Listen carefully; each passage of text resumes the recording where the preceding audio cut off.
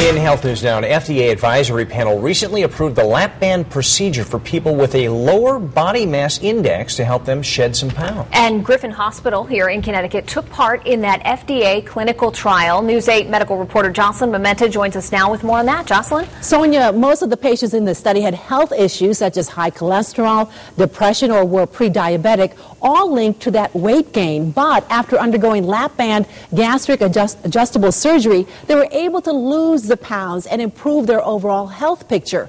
Lisa Moholt had excruciating knee pain, and after losing 100 pounds, mobility was no longer a problem. I couldn't walk. Yeah, I felt horrible about myself. I didn't want to do things, you know, withdrawn. You know, hated going out, hating to get dressed and, you know, being in front of people. And I own my own business, and it was just a downward spiral for me. So, and now it's completely changed. I feel great. I have energy you know, I'm taking life by the horns. It was a way to really look at patients before they have medical problems. And, and the cost savings are dramatic. It's Once you're diagnosed, for example, with diabetes, your mortality uh, increases almost exponentially from that day on.